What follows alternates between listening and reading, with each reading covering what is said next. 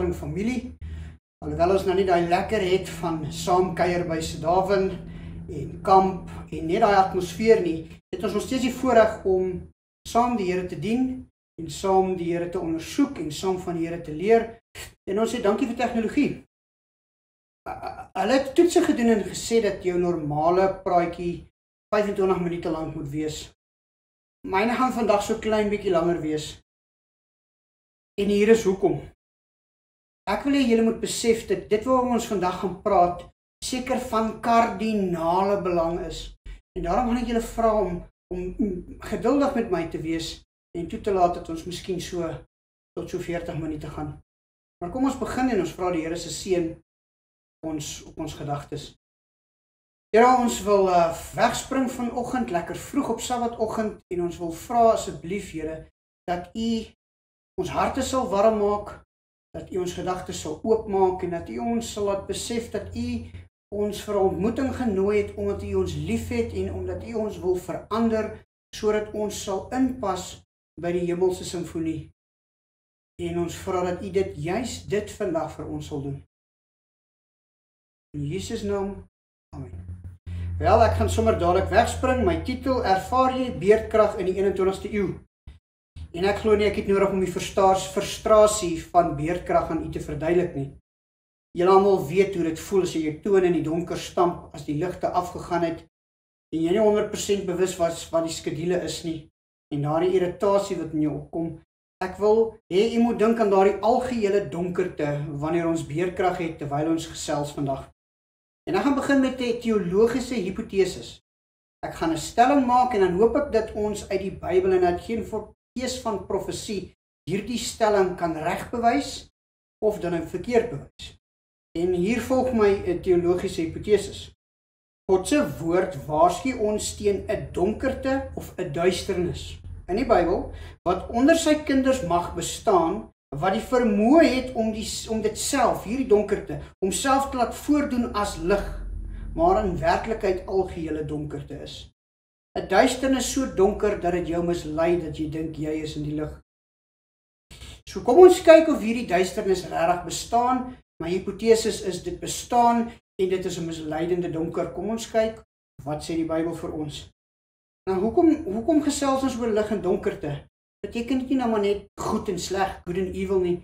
Of is daar 'n dieper betekenis aan hierdie lig en donker?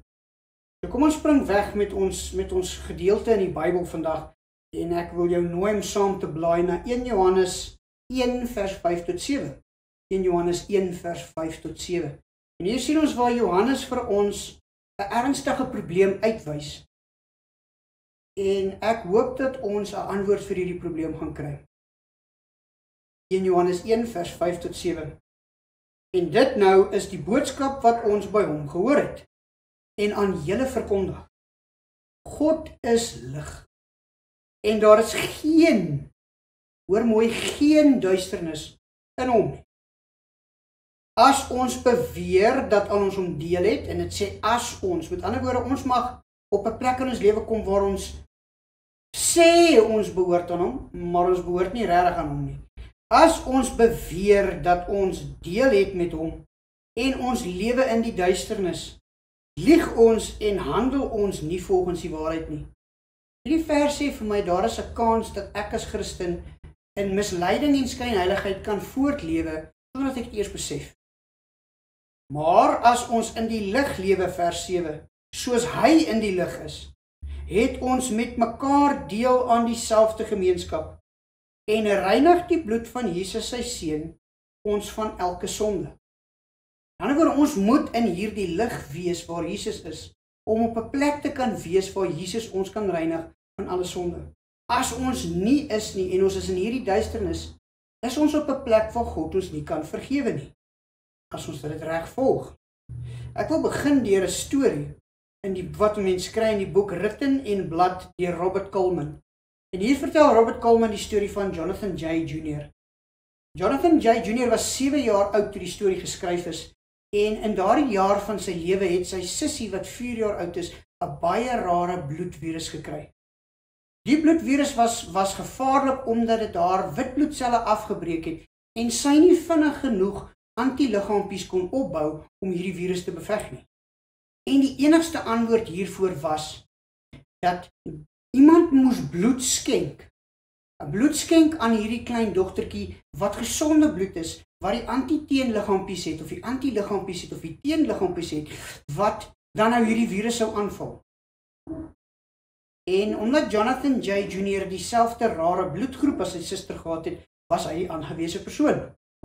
Maar sy ouers het gevoel dat dit 'n besluit moet wees wat Jonathan se is en hulle het dit aan hom verduidelik. En klein Jonathan het by die venster gaan staan en lank gedink En toe hy omdraai, loop daar trane by sy wange af en hy sê vir mamma en pappa: "Ek sal vir sussie help." Gou is die voorbereiding gedoen, toetse is gedoen om te sien hoeveel bloed op 'n dag gedoen kan word sodat sy liggaam weer kon herstel, maar ook genoeg bloed vir sy sussie gegee kon word. En met die eerste oortapping toe die bloed deur daai deurskynende pypie begin beweeg, het klein Jonathan baie ernstig begin huil. En die dokter het na hom gedraai en gesê: "Boetman, hoekom huil jy? Jy's vandag 'n hero." En klein Jonathan het geantwoord: "Ek besef dit, dokter.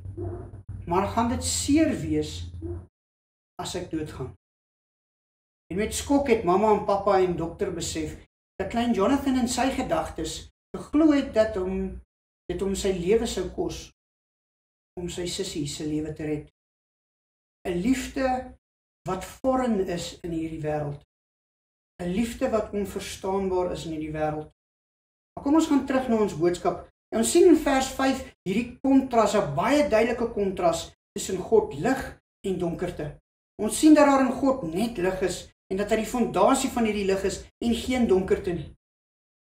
Maar ons vind ook 'n donkerte in hierdie kontras. En dan bring Johannes 'n baie ernstige probleem na ons toe. Hy sê vir ons As jy sê dat jy gemeenskap het met die Here, maar jy's in duisternis. In ander woorde, daar's van ons, wetend of onwetend, wat kan sê dat ons in Jesus is, gemeenskap het met hom, maar eintlik in die duisternis is. En as u en ek een van daai mense is, sê die woord vir ons, lieg ons en het ons geen gemeenskap met God of mekaar nie en is ons op 'n plek waar ons sondes nie vergewe kan word. Nou my, vraag aan u vandag is, jong mense, sou jy sê dat jy gemeenskap het met God, met sy kerk en met sy werk? Is jy deel van God se familie? En as jy vandag ja antwoord, is my volgende vraag: Is jy in die lig of in die donkerte? Want sou jy ja antwoord en jy's in die lig, is jy reg. Sou jy ja antwoord en jy's in die donkerte, is jy mislei en besef jy nie jy's in die donkerte nie en staan jy die kans om jou ewige lewe prys te gee is dit dan nie baie belangrik dat ons uitvind wat die lig en wat die donkerte is nie. Dit kan tog nie net goed en sleg wees nie. Daar moet 'n dieper betekenis wees as dit die kans staan dat dit jou kan mislei, jou kan laat lieg en jou kan laat dink dat jy's oukei, okay, maar jy's nie eintlik oukei. Okay. En op my reis om uit te vind wat hierdie lig en wat hierdie donkerte is, het ek gegaan na Matteus 6 vers 22 en 23. Die Bybel lei ons dan nou na die volgende verse toe. Blaai saam met my Matteus 6 vers 22 en 23. En hier sou hulle soos hulle sê in Engels the plot thickens. Hier word die probleem vir ons heeltemal tot op die been oop gevlek. Dit sê vir ons in vers 22: Die lamp van die liggaam is die oog. As jou oog goed is, sal jou hele liggaam lig hê. Maar as jou oog sleg is, sal jou hele liggaam sonder lig wees. As die lig in jou is. Ekskuus, ek herhaal. As die lig in jou donker is, hoe donker moet daardie lig nie wees nie.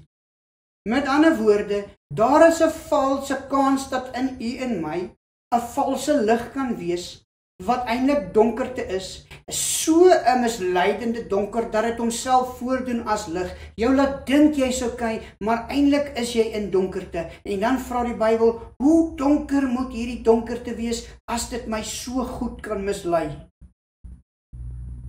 En dan moet ons gaan kyk, die Grieks wys vir ons dat hierdie een van drie dinge kan wees. Die lamp van die oog, liggaam is die oog. Hierdie lamp, die oog, kan of 'n uh, literal wees of metaphorical of figurative.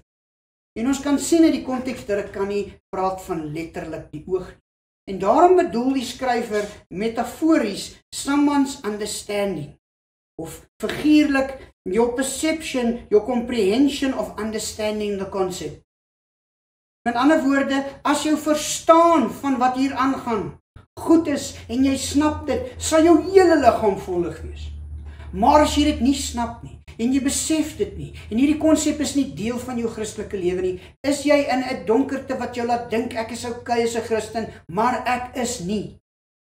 En dis dan, liewe jong mens, wat jy in sulke gevaar is dat jy jou ewige lewe kan verloor.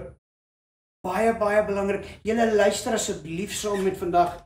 So 'n belangrike oomblik vir ons om na te luister.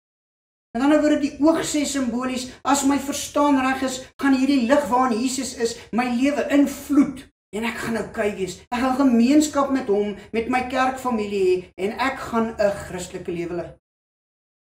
Maar as ek dit nie snap nie en ek besef nie wat hierdie predikant vandag vir my sê nie en ek besef nie wat die Here vandag vir my sê nie en ek gaan aan asof daar nie werklike probleme in my lewe is nie en ek dink ek is okay, is ek eintlik in donkerte wat so donker is, dit baffle my. Is dit nie belangrik vir u en vir my om my te vind wat hierdie donkerte is nie? Wat is hierdie lig? Wat is hierdie donkerte? sien hierdie donkerte kan my 'n gevoel van valse sekuriteit gee. Ek kan nie my Bybel ken. Ek kan gees van profesie ken. Ek kan elke dag Sabbat kerk toe gaan. Ek kan aan elke kerkprogram deelneem. Ek kan my tiendes gee. Ek kan selfs vir ander mense van Jesus vertel en nog steeds in donkerte wees sonder dat ek dit besef en sonder dat ek my besef my lewe is eintlik 'n skyn. 'n Skyn van lig en nie die ware lig nie.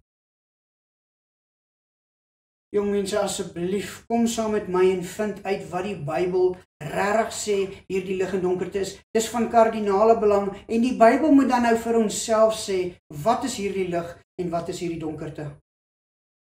En God is getrou wanneer ons 'n probleem optel, besef God dat ons die antwoord nodig het en hy gee vir ons die antwoord in no certain uncertain terms. In 1 Johannes 2 vers 8 tot 11, net die volgende hoofstuk, lees ons dan nou die antwoord 1 Johannes 2 vers 8 tot 11. Hoe pragtig is God se woord nie en gee vir ons in presies die woorde wat ons soek, die antwoord op ons probleem. Vers 8. En tog is dit ook 'n nuwe gebod wat ek aan julle voorskryf dat dit werklik so is, is te sien in Jesus. Onthou Jesus is in die lig en in hom is geen duisternis nie. Dis te sien in Jesus, sy voorbeeld en ook in julle. As ons dit verstaan, as die oog goed is, sal die hele liggaam lig wees. Want die duisternis is aan die verbygaan en die ware lig skyn alreeds. Ons hoef nie bekommerd te wees as ons verstaan waaroor dit gaan nie, want die duisternis is aan die verbygaan. As iemand beweer dat hy in die lig is, weer eens, as iemand beweer dat hy in die lig is, maar hy haat sy broer, is hy nog steeds in duisternis. Wie sy broer liefhet, bly in die lig en daar is niks wat hom laat struikel nie, soos Jesus in die lig en geen duisternis is hom nie. Maar wie sy broer haat, is in duisternis en lewe in die duisternis en weet nie waar hy gaan uitkom nie. Hy's mislei, hy's confused omdat die duisternis hom blind gemaak het. Klink dit soos wat Matteus gesê het? Hoe donker is hierdie duisternis dan regtig? En jong mense, dis hier waar ons moet sit en wegbeweeg van die plek waar ek kan kies wie my broer of suster is. Waar ek die tyd kan kies waarin ek my broer of suster moet lief hê. Dat ek die scenario's kan kies waarin ek my broer of suster kan lief hê Ons weet dat die barmhartige Samaritaan vir ons presies vertel wie ons broer en suster is en God sê as ek daardie broer of suster haat, is ek in 'n misleidende duisternis. William Marshall sê ons mag dalk op hierdie punt uitwys dat daar baie mense daar buite is wie ons met, met wie ons daagliks in aanraking kom met wie dit net nie moontlik sal wees om broederlike of liefde toe te pas nie bloot vir die rede dat ons ontmoeting met hulle van korte duur is. Maar die apostel Johannes laat geen ruimte hiervoor nie.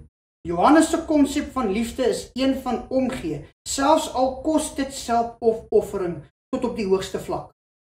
Johannes se oproep moet in ons 'n nood vir radikale verandering wakker maak as ons onsself volgelinge van Jesus wil noem. Jong mens.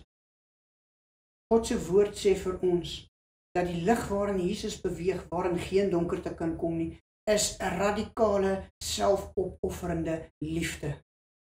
En die donkerte is 'n Christelike lewensbestaan waar ek al die regte dinge sê en doen, maar hierdie liefde is aanwesig, afwesig, afwesig in my lewe. En dit laat my deur die motions van Christianity gaan sonder die ware fondasie 'n anderste liefde, 'n hemelse liefde, 'n liefde wat radikaal anderste is. Radikaal is sodat dit die wêreld kan verander. Net soos Jesus toe hy hier was, die wêreld verander het. Maar jong mens, hoe gaan ek weet of ek nie deur die motions van Christian gaan? En of hierdie liefde, hierdie lig werklik in my is? Is daar 'n werklike lig, 'n werklike liefde in my hart?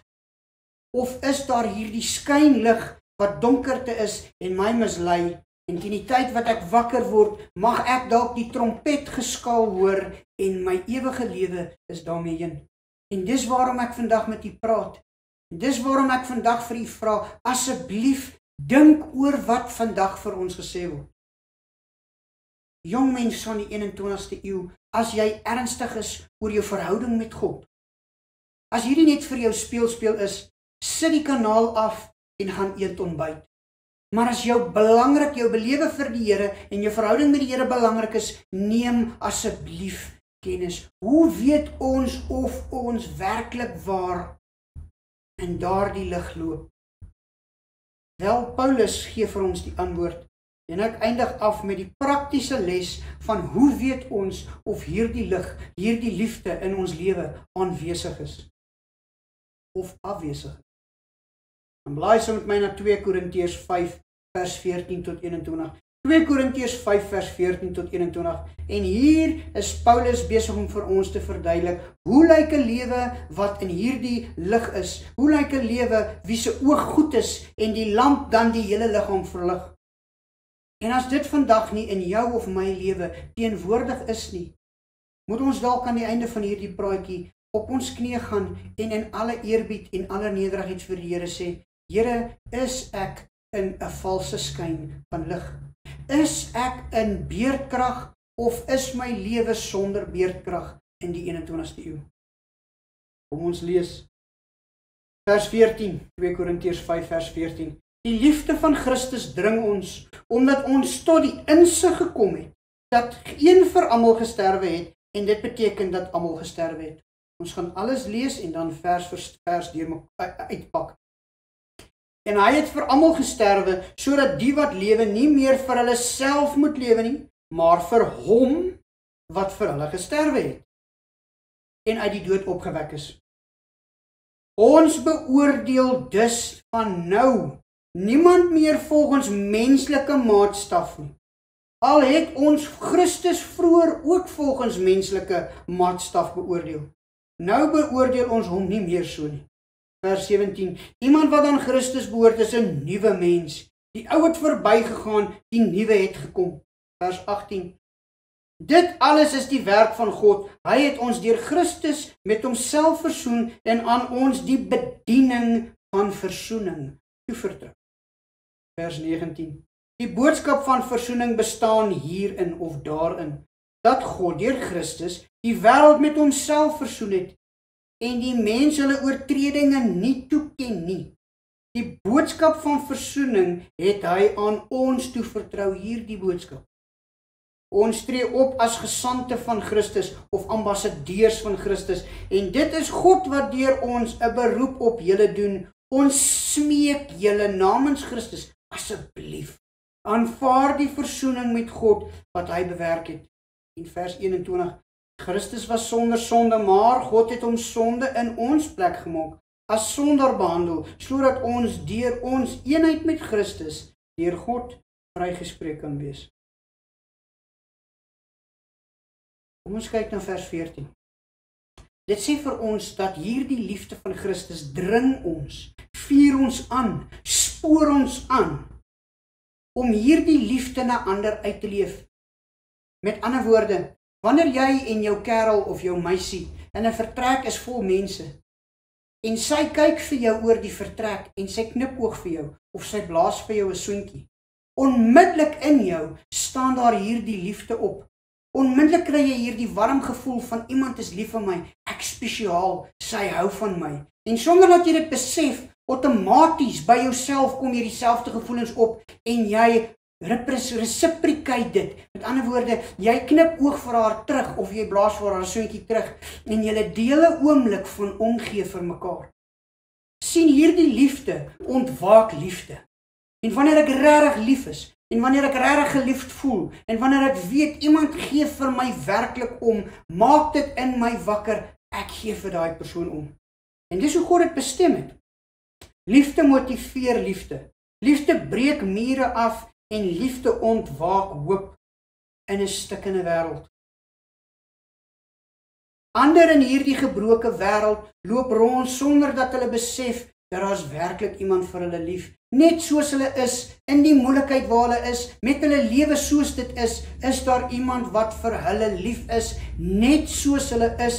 En die oomblik wanneer hulle Jesus vir hulle sien wink, of 'n soen blaas, besef hulle dit en kom daai selfde liefde vir Jesus weer in hulle op. Iets verander, iets breek af in hulle, iets word beter. Ek is geliefd. En dis hierdie liefde waarin Jesus beweeg, waarin daar geen donkerte is nie. Vers 15 sê: Wanneer die lig egter vir ons aangaan en ons besef wat God vir ons werklik voel, herrangskik dit ons gedagtes, herstel dit die lamp van die liggaam, herstel dit my verstaan en my persepsie as ek verstaan wat God vir my voel en ek sien wat God vir my voel. Verander dit iets in my en dis die verandering wat moet plaasvind sodat my gesondes vergewe kan word. Dis die verandering wat moet plaasvind sodat ek in die lig kan beweeg. Dan voel ek ek het 'n kans. Iemand is lief vir my met al my foute. Daar's 'n persoon daar buite en hy besef dit dalk nie. Wat rondloop sonder dat hy voel dat daar iemand wat vir hom lief is. En nou ervaar hy Jesus se liefde in en my deur my en jou. En nou sien hy 'n liefde raak wat foreign is in hierdie wêreld, soos klein Jonathan J Junior se liefde. En hierdie liefde breek die mure in sy lewe af en hy sien God vir die eerste keer raak en hy val voor die kruis neer en hy sien sy Skepper God. Hy sien sy verlosser, maar dit sou nooit gebeur het as hy nie eers besef het somebody loves me. Somebody truly and really loves me for who I am. Vers 16 sê wanneer hierdie persepsie dan verander, wanneer ons lamp regkom, wanneer ons verstaan regkom, En dit kom reg eers wanneer ons werklik besef wat Jesus vir ons voel. Dis dan wanneer ons daai liefde sal mimiek aan ander. Maar wanneer dit gebeur, oordeel ons nie mense meer dieselfde nie. Die vers gaan aan deur om te sê ons het God ook op 'n tyd so geoordeel. Met ander woorde wat Paulus vir ons sê, op 'n tyd het ek geglo dat God my nie kan lief hê nie, dat ek eers dit moet doen of dat moet doen of dat moet doen of dat moet doen voordat God my sal lief hê, werklik sal lief hê. Ek praat van 'n liefde wat hierdie wêreld nie ken nie, werklike aanvaarding. Maar dan wanneer ons besef God is my lief, hy staan by my wanneer ek op my swakste is. Hy help my wanneer ek die verste is. Hy leun in in plaas van uit wanneer ek sukkel en wanneer ek naak voor sy voete gegooi word, kniel hy en skryf hy in die stof om ander van my weg te hou. Dis wanneer ek dit besef dat ek van nou af nie meer God met daardie menslike standaard oordeel nie. Ek besef God se liefde is anders. En wanneer ek dit in my eie lewe ervaar, begin ek anders te na ander mense kyk. Hoekom? Wel vriende, ek begin iets baie belangriks raak sien. Ek begin raak sien wat God in daardie mens raak sien. Iets moes in daardie mens gewees het wat God bereid sou laat wees om Jesus vir hom te sterf. So daardie persoon by die kerk wat vir jou so irriterend is of by die werk of by universiteit of tussen jou vriendegroep, daardie persoon met wie jy nie regtig te doen wil hê nie. Daardie persoon wie jy eintlik net wil weg hê van jou. Begin anders lyk. Like. Jy begin iets in hom raak sien wat Jesus in hom geplaas het wat hom spesiaal genoeg maak vir God om Jesus te stuur om vir hom te sterf en vir Jesus om in te stem om vir hom te sterf. Jy begin iets anders te in hom sien. En so begin jy verander teenoor hierdie persoon. Nou begin jy mooi in hom raak sien, potensiaal in hom raak sien, spesiaal in hom raak sien waar jy voorheen net sleg raak gesien het. En dit gebeur omdat jy besef dat Jesus daai mooi in jou raak gesien het en jou die moeite werd geag het om vir jou te sterf. En dan sê vers 17 vir ons: Nou verander ons perspektief. Maar sien, ons kan in die lig lewe of dink ons is in die lig. Ons kan Sabbat hou, ons kan reg eet, ons kan reg aantrek, ons kan die Bybel en ons profeseë ken, ons kan al die gebooie getrou hou. Ons kan albei al die betrak betrou programme betrokke wees soos ek gesê het en nog steeds die donkerste hart op die aarde hê. 'n Hart van veroordeling en haat, 'n hart van naaiwer en jaloesie en 'n hart van tweedrag en verdeling. Totdat hierdie proses in ons verander en vers 17 vir ons sê nou is ons 'n nuwe mens. Is ek in duisternis wat homself voorgee om lig te wees? Ek dink ek as Christen is okay ek kan lewe om sekere mense lief te hê en sekere mense nie lief te hê nie. Om liefde kan hê met 'n sekere liefde of nie. En die Bybel waarsku jou en my dat jy en ek is in donkerte as ons so lewe. Ons gaan deur die motions van Christianity maar ons is eintlik verlore want ons is in 'n donkerte wat ons mislei. Jy en ek is nie in die lig nie Jy en ek sal eers in die lig wees wanneer die penny drop en ons besef Jesus is hierdie lig. In hom is geen duisternis nie. Hierdie is die lig, 'n liefde wat jy raak sien, wat jou lewe verander en wat jy dan in ander mense se lewe wil instoot sodat hulle lewe ook kan verander. En as hierdie nie in jou wakker gemaak is nie, is jy in die donkerte en is ek in die donkerte. Die eenheid tussen Christus en sy volgelinge moet dien as 'n ware en lewende voorbeeld van eenheid tussen Vader en Seun. Hierdie soort eenheid is gevolg van die inwerking van die Heilige Gees. Alle ware volgelinge van Christus sal aan die wêreld getuig van hierdie liefde in eenheid en broederlike liefde. Hulle sal besef dat as lede van God se familie, hulle beloof om broederlike liefde te te kweek, te koester en help voortbestaan deur hulle dade, hulle woorde en omgang met ander teken dat die Heilige Gees teenwoordig is in jou lewe is hierdie liefde in jou dade en jou woorde en in jou aksies. As dit nie is nie, is ek jammer om vandag te sê, jong mens, as dit nie in jou lewe is nie, as dit nie in my lewe is nie, is ons in duisternis, ons is in beerdkrag, ons struikel en strompel voort deur die emotions van Christianity en ons het nie werklike verhouding met God nie baie harde woorde, maar is nodig dat ons vandag hierna kyk. Vers 17 sê dan nou vir my, ek is 'n nuwe skepsel. Nou begin ek in die lig loop. Nou begin my lamp vir my die ware lig wys en nou flit my lewe of flat my lewe vol lig en ek lewe in gemeenskap met God en met ander. En dan in vers 18 tot 21 die belangrikheid van vandag. Jesus gee vir jou hierdie spesiale bediening van verzoening, hierdie werk om raak te sien wat God vir my voel, te ervaar en saam met God te verander omdat hy vir my lief is en hy in my invest en dit my lewe verander. sien dit werk so. My gedagtes vloei in op my emosies en my emosies vloei in op my dade en my dade bevestig dan my gedagtes. Met ander woorde, wanneer ek glo dat Jesus vir my lief is, dan kry ek gevoelens van waardering en waarde en tree ek op soos 'n kind wat lief is of geliefd is. En mense aanvaar my en wil in my geselskap wees en wil naby my wees en dit bevestig my gedagte dat hy in Jesus is ek spesiaal. Maar wanneer ek voel dat God my nie liefhet nie en ek voel dat in hierdie wêreld is 'n wêreld 'n koue lewelose bestaan sonder liefde, dan affekteer dit my gevoelens. Ek voel niks werd. En wanneer ek niks werd voel, begin ek optree soos 'n niks werd. En dan wanneer mense my reject en my wegstoot, dan hervestig dit net weer my gedagtes, niemand is lief vir my.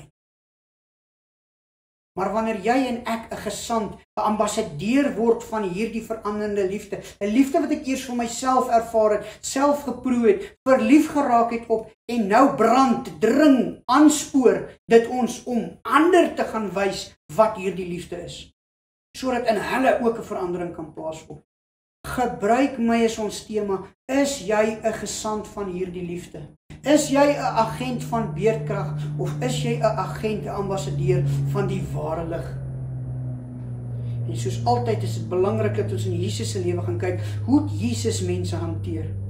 Die kragtige getuienis van die belewende wedergebore kind van God is die teenwoordigheid van die liefde vir sy broer of suster en die uitvoer van hierdie liefde op 'n daaglikse wyse. Hierdie is die grootste en sterkste getuienis in guns van Christendom en sal ongetwyfeld siele wen na die waarheid. 'n Ware kind van God is verbind met ander en met Christus. Hulle is een deur Christus in God. Besef wat ek vandag vir jou sê, jong mens. Jou sondes wat 'n doodsvonnis verdien, word op hom geneem en al wat hy vir jou voel is 'n aanvaarding en 'n liefde en 'n een eenheid en 'n deel wees. En selfs wanneer ons wegkwyn daarvan in rebellie en kwaad, lok hy ons nader met liefde en bou hy weer die vertroue op. As dit is wie Jesus is, dan is my volgende vraag aan jou en my. Wie gee jou die reg om enige ander mens op enige ander manier te hanteer as dit? En as jy voel dat jy daai reg het, is my antwoord vandag aan jou. Jy is in 'n duisternis wat jou laat dink jy's in die lig, maar jy gaan jou ewige lewe mis. Christus se metode alleen sal ware sukses op die mensdom bereik. Hier is die resep vir hoe so 'n lewe moet wees. Die verlosser het met mense omgang gehad soos iemand wat by hulle soos iemand wat by hulle iets wou hê. Dan het hy hulle ware empatie betoon, in hulle behoeftes voorsien en so hulle vertroue gewen en dan eers vir hulle gesê volg my. Jesus het omgang gehad met mense so intens en so warm en so liefdevol dat mense gedink het hy soek iets by my. En dan het hy werklike empatie getoon. In hulle behoeftes voorsien. Hulle vriende geword. En dan hier is dit hy gesê, volg my. Daar was 'n resep wat moes kom voor die volg my.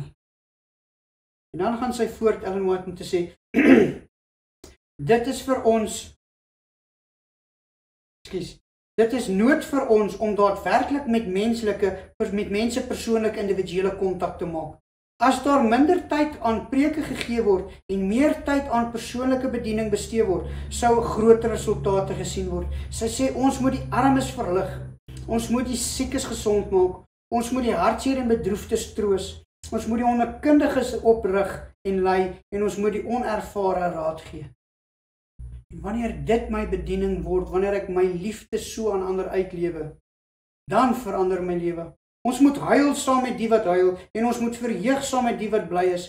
Vergesel deur die krag van oorreding, die krag van gebed en die krag van liefde van God kan en sal hierdie werk van sieleredding son nie sonder vrug wees nie. Hierdie manier Christ method alone will reach true success. Hierdie manier gevind in Helende Hand bladsy 143 is die manier hoe ek ambassadeur van hierdie lig sal wees. Jong mense, ek sluit af met die volgende vraag. Is jy 'n ambassadeur van die lig of strompel jy in die donkerte? Kom ons sluit ons oë. Liewe Hemelse Vader, Ag Here, ons sien hierdie probleem raak. Ons sien dat ons die gevaar loop om deur die emotions of Christianity te gaan, maar nie werklik ware koneksie met U of met ander te hê nie. Hierdie koneksie van 'n selfopofferende liefde wat sy oorsprong het in 'n verstaan van U liefde vir ons wat dan aan die brand steek in ons en oorspil in ander se lewens. Christ method alone will reach true success. 'n Liefde wat omgee vir mense En dan wanneer hulle daardie liefde voel en ervaar, dan sal ons hulle nooi om U te volg. Mag hierdie lig in elkeen van ons jong mense se lewens teenwoordig wees sodat die duisternis kan verbygaan en die lig wat in U is, die wêreld sal invloed. Dis my gebed in Jesus naam. Amen. thank you